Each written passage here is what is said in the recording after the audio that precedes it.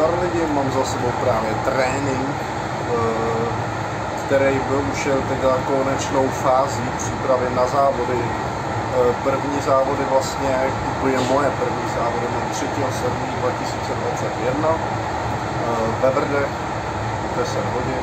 A tohle byla menší ukázka přípravy na ty závody a trénu u kamaráda, můžu ho zmínit, klidně Martina Zimmermana, což je amatérský strongman. A trénu tam logly, mrtvoly, prostě to, co bude na závodech, takže, takže tak.